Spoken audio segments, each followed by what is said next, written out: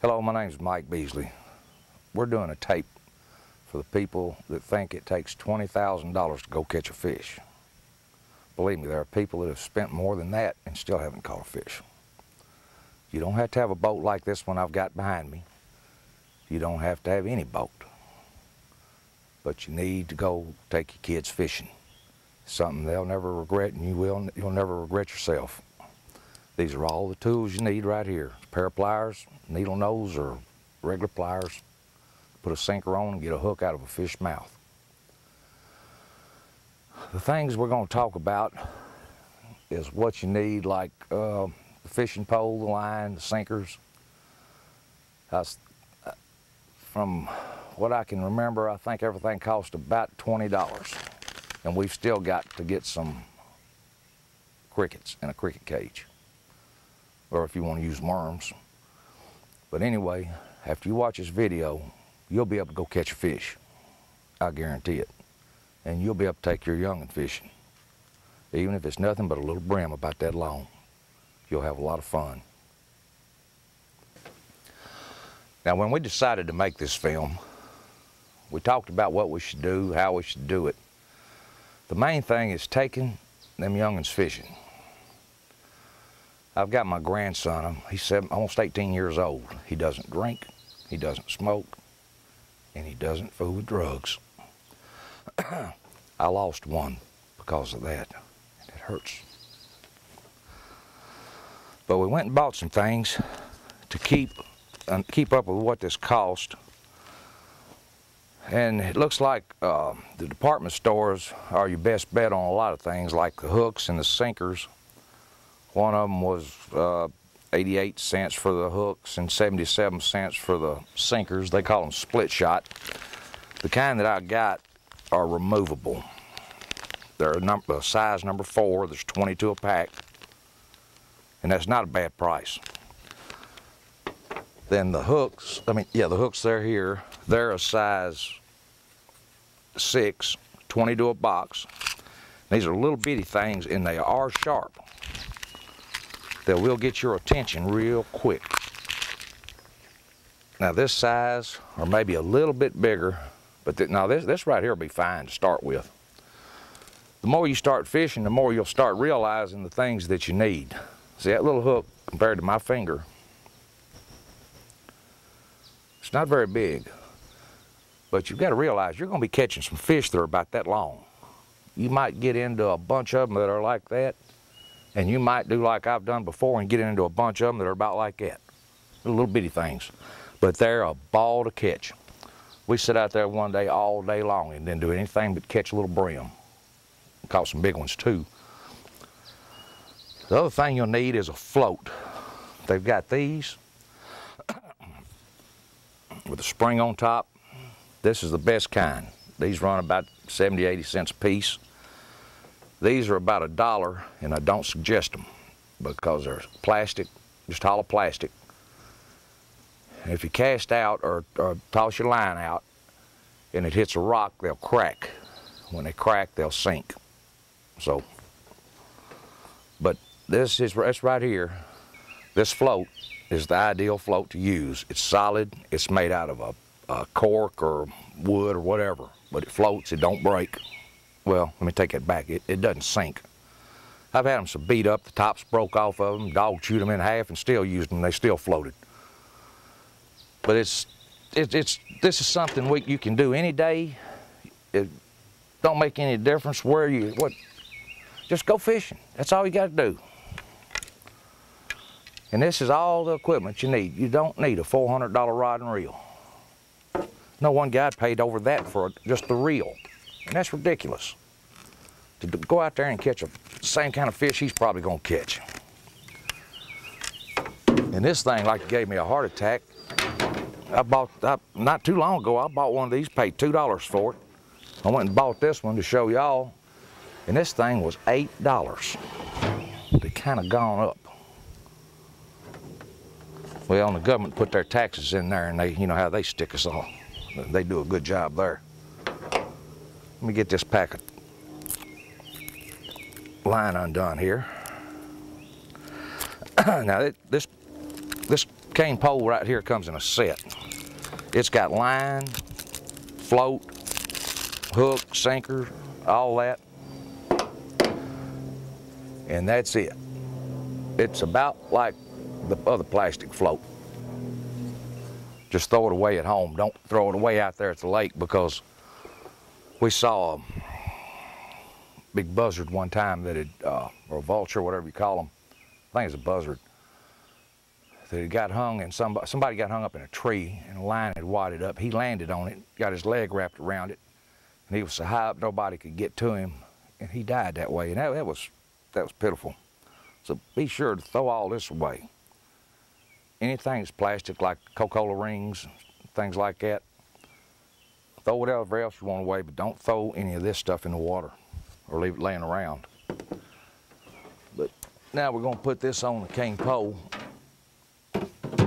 Oh, by the way, this line, I bought it. Most places like these dollar and under, everything, nothing over a dollar, have got this line for a dollar a spool.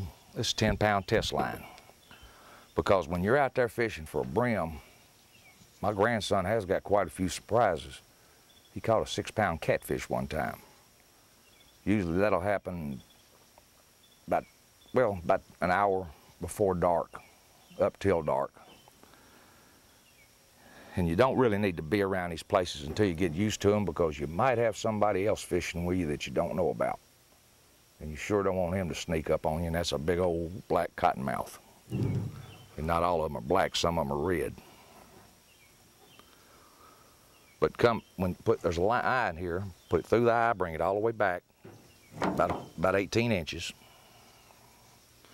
and tie it five or six times real good, get a couple, get some good knots in it, and that way make sure it doesn't come loose on you because a lot of people tie it on the end of that eye but I don't like to do that because it's, it's awful small up there at the end.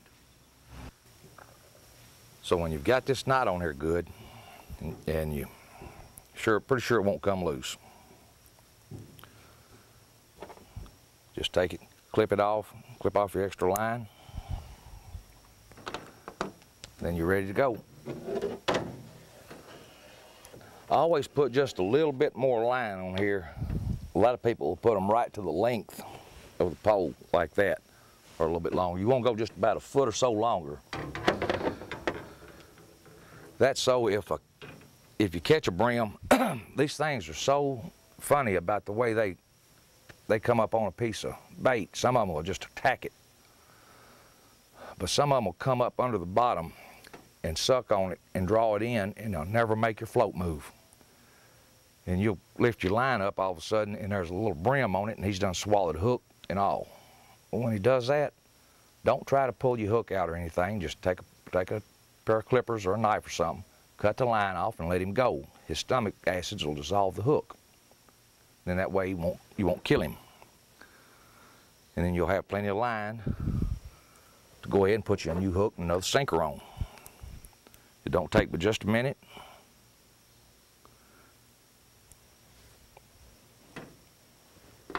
And I'm going to show you just how, how quick it is.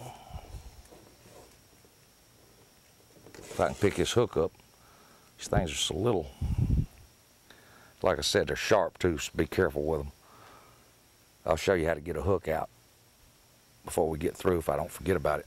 And these things are sharp. You can stick one in your finger so fast it'll, it'll go in and you won't realize it. Let's tie you some knots in it. Let's put a couple in here. Then run it through the aisle one more time if this line will go through there. Yeah. Just put you about four or five knots in it. So you get four, five, six good knots in it. Pull it tight. And then clip it.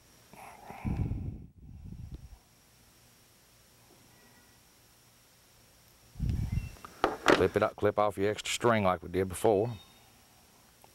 And then we'll put the sinker on. Now there's an important part in this. When you put one on, use a pair of pliers. Don't bite it. I did that and cracked a tooth. after about $800, I didn't do that anymore because that's what one tooth cost. Just take your pair of pliers and you don't have to put it on there real, squish it real, real flat, just close it. So you got the other end to where if you want to take this off and put it up, take your pliers and squeeze that and it'll open back up, put it back in your sack. Now these floats, what we're going to do here, for right now we're just going to put it about 18 inches. Just pull your, pull your spring back. And it's got a little slot in here. It's vertical slot, a horizontal slot, and then a vertical one. See there how it's got that, uh, where you put your line in and then it goes up? I didn't think this one would hold a float on as well, but it does. It's better than the old ones we used to use. It's supposed to be so you can do it like that, and that's all you got to do. But I like to go ahead and wrap it around one more time because I've cast out there before and the line went that way and the uh, float went way over there. So, my friend, you are ready to catch a fish. All we need is some crickets. And we're gonna get them next. So if you'll get all this ready, we'll be ready to catch some fish and I'll guarantee it.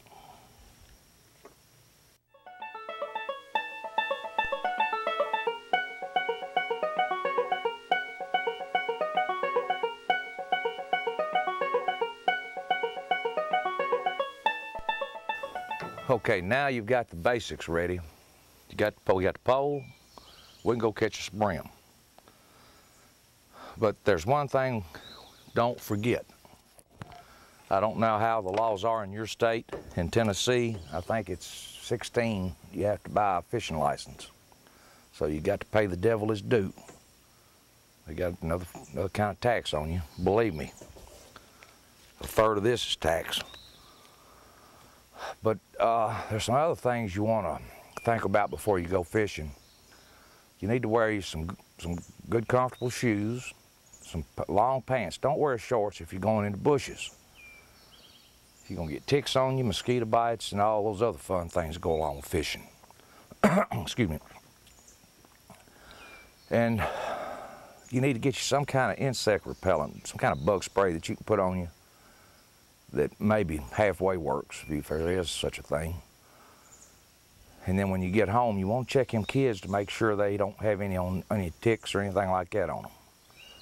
Because places where we're going, some of them are okay, some of them you get you brush through, uh, brush up against a lot of trees and shrubs and things like that, and that's where your ticks come from. And don't take your dog with you because you have to put him on a leash or he'll get in trouble. If there's a snake out there, he'll find it and he might get bit. So until you learn, know where you're going, no, I, I wouldn't suggest taking your animal with you. And I did have one that wouldn't get, get out of other people's boat. So he liked to go boat riding a lot. But now we're gonna go get ready and get the license, get the bait, as soon as I can find out what my grandson did with my cricket cage, I'm going to show that to you and we'll be on the way.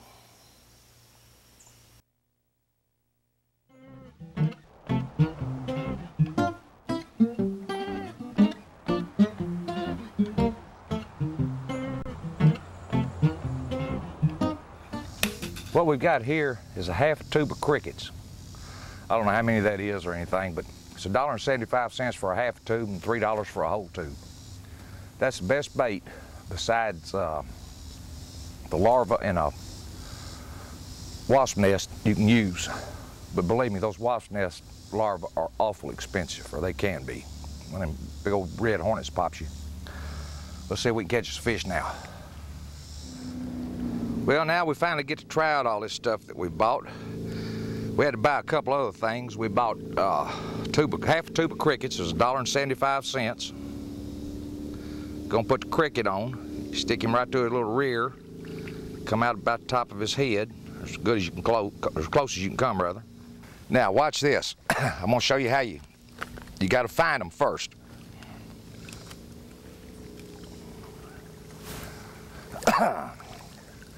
you leave it there for a couple of minutes. If they don't bite right away, start easing it back. You might be in water too deep ease it back in, get where the water's not quite as deep. See, all up under here is rock.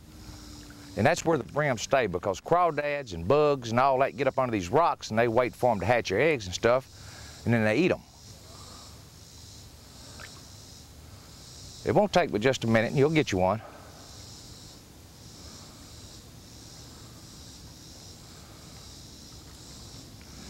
Up, oh, got too shallow. Try it again. Now see how I've thrown it out there like that? Just started easing it in. Let's try it about right there. And this takes a minute.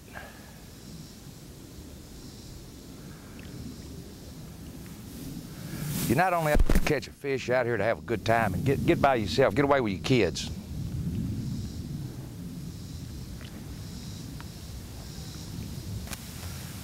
And women like this too. They don't like the part about putting the crickets on there. Old Bill Dance always said whenever you take your kids fishing, you'll always know where they are. And I've taken all mine fishing, and it's sure been a blast. I've had a lot of fun with them.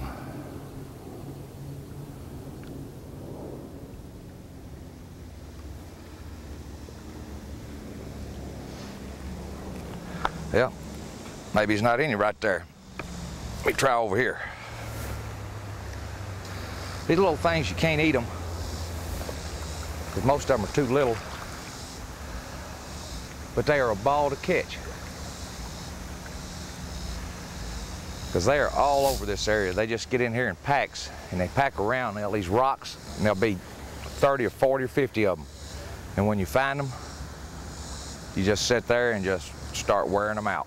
Just as fast as you can get your line in there eventually, whenever you find them.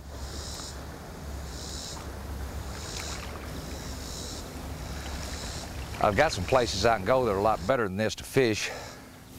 It's just that this one was close to the house, and that's supposed to be the meaning of all this. It's someplace close to home, and you can just run out there and go catch you some fish, just play for a little while when you got some time. There's nothing like taking your kid fishing though.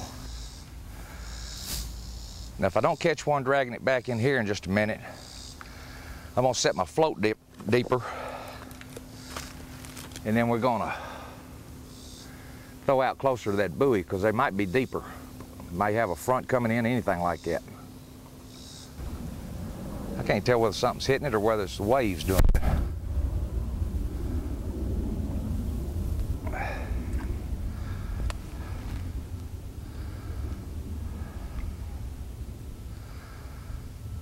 When them little bitty ones pick on it, it'll do just like this, but the waves will do the same thing because of the sinker. One thing about these little brim, they're good at stealing bait too.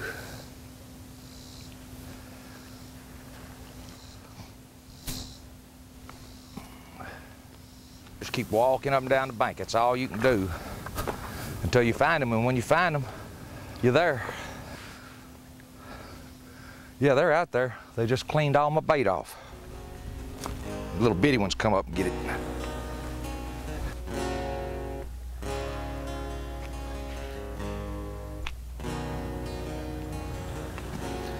All right, now we're gonna try another spot.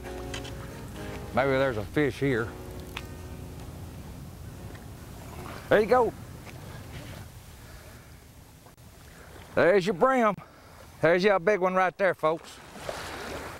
That's what you're after right there. It might not be big. You might not be able to eat it. But you and the kids will have a ball catching these all day long. Put us another cricket on here, try again.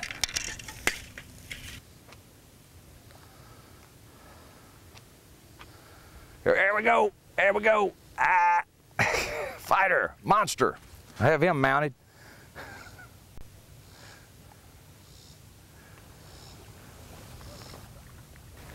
We finally found them.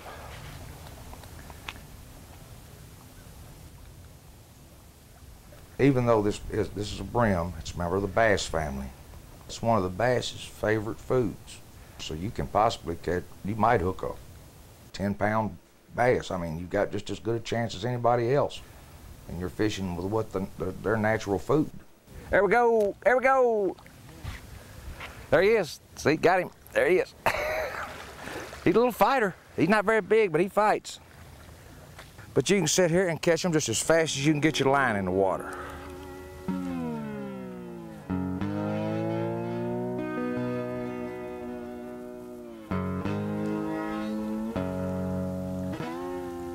He's a little bitty thing, ain't he? These little things are fun to catch. We put some in an aquarium one time about that size, about four of them. We stopped and got them some crickets. And all night long, it sounded like somebody's in the house shooting a 22 rifle, them hitting them crickets. Let's see if he's got a brother out there. Got him, ah, had him, lost him. We finally found him.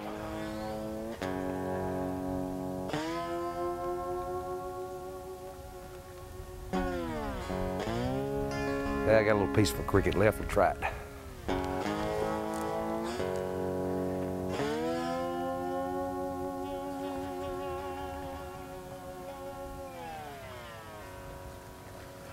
He's even littler than the last ones.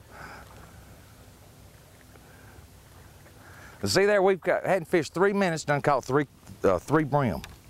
And that's how fast you can do it, and this is fun. I mean, you can't have no more fun this right here. Put another cricket on here, and I bet you I got another one in just a minute. It takes longer to put the cricket on when I can catch the, than what it takes to catch the brim. All right, let's catch number four.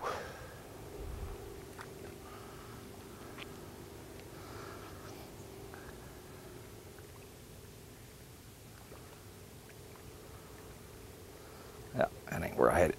Yeah, he got me. Hey, they're fast. I mean, they can, y'all see what they can do to a minnow.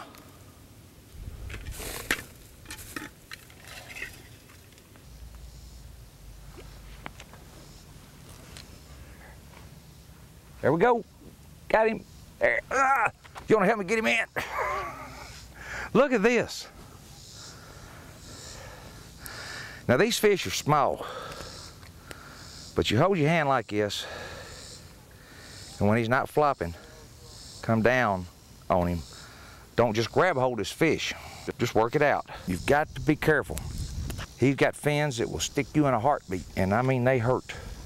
So you just rub your hand down him and pull him out and always let them go. We'll catch him later. But you can do this all day long if you want to. I mean, it is a ball. Now let's see if there's one more out there.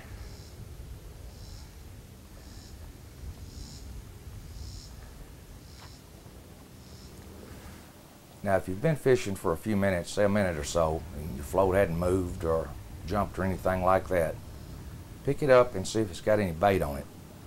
Those little brims can get up there and steal a cricket real quick. Another thing, you'll catch some big fish in here. Up, oh, missed him. I mean, we're just catching a little bitty fish, but there are some big brim in here. I saw one guy catch a five pound bass fishing in the same, doing the same thing. So you never know. It's, it, this is like going on a treasure hunt or something. You, you never know what you're gonna reel in when something gets your line. Give me another cricket on there.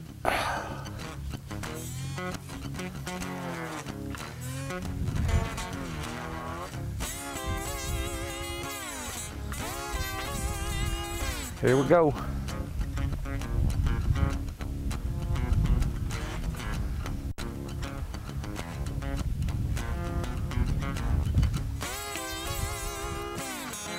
I missed him, but he didn't miss me.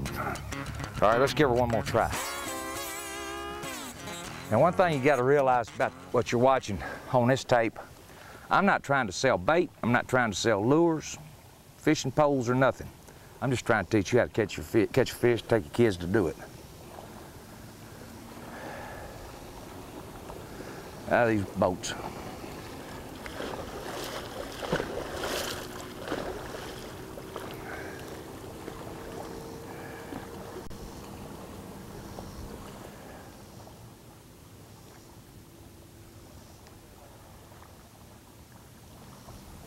Now we started out over where we parked the truck. We've probably covered about maybe 100 yards, something like that. Not very much. You just got to keep, you got to walk and, and, and find them. Just sit there and change your depth. It's, it's not hard. It's, there's no rocket science, science to it. It's just, um, just a matter of finding them. Just keep looking. You get some exercise, you, you spending time with your kids, the whole nine yards. Is, none of this time is a waste, none of it all. And if you're not catching any fish, just move down a few feet or so. There, you get under some rock structure where all these brim are. They got to get something around where they can run into and hide. And you get close to them, you find them. That's all she wrote. You can catch them all day long.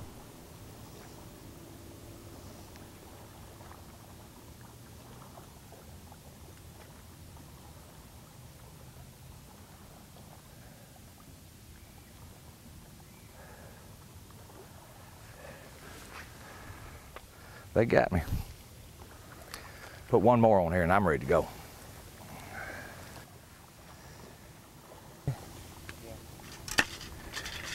When you catch one of these little crickets, you start in his rear, stick the hook in, try to come out some, excuse me, try to come out somewhere around his head, like that. That's how the cricket goes on there.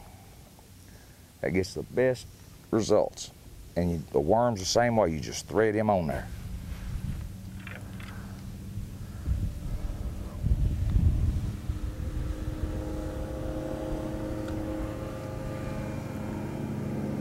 There we go. Ah.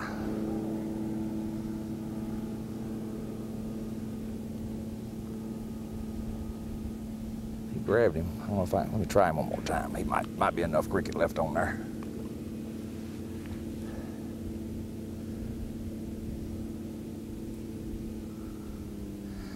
There's one thing else you got to remember when you're doing this. There's no way you can mess up. Just be sure to get you a license because if you don't, you'll know how much it costs to go fishing whenever you see that judge. And they do charge dearly.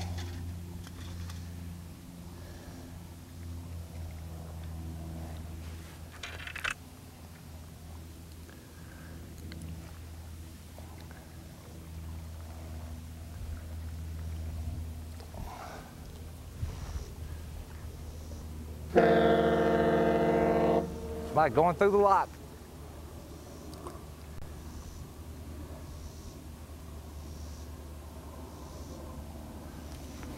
He didn't get me that quick, did he?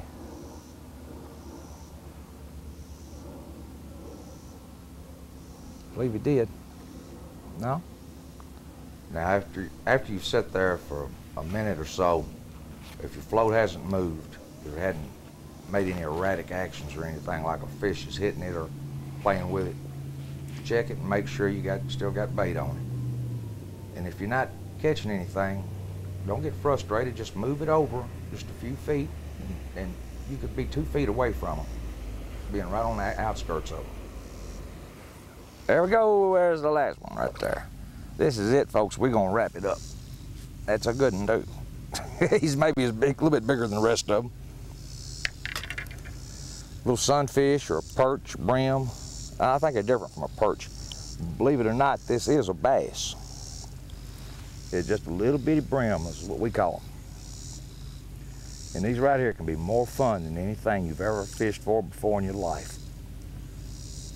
But then the reason I'm talking to you, you're the first time fisherman. Take your kids out there and enjoy it. You can have a ball fishing for these things.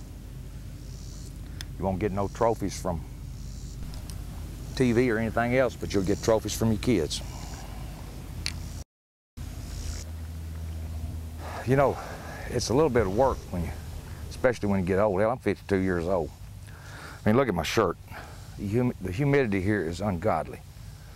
I mean, the dew falls at 11.30 at night. Usually supposed to fall at 4 or 5 o'clock in the morning. That's how hot it is here.